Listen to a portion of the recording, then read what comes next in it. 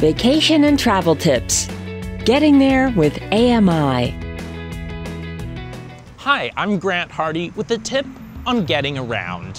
When asking for directions, I've learned that it's really helpful to try and avoid asking people leading questions. For example, instead of asking, am I at the intersection of Hastings and Granville Streets, ask, which intersection am I at? And instead of asking, am I close to the library, ask, how far away is the library and in which direction? In this way, you can be sure that people aren't just saying yes because they're in a hurry, they misunderstood the question, or they're not really sure, but what you said sounds right.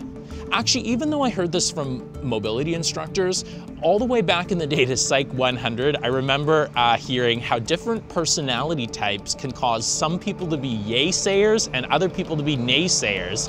Just about everyone wants to be super helpful, and this way you can make sure you're getting accurate information.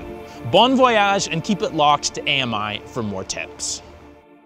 For more travel tips, go to youtube.com slash accessible media.